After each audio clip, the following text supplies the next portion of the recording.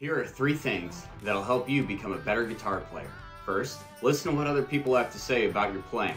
They can hear what you can't. Second, don't be afraid to try new things. Record yourself playing, and then try it to a different tempo or rhythm. Third, the big one, warm up, both the brain and the hands.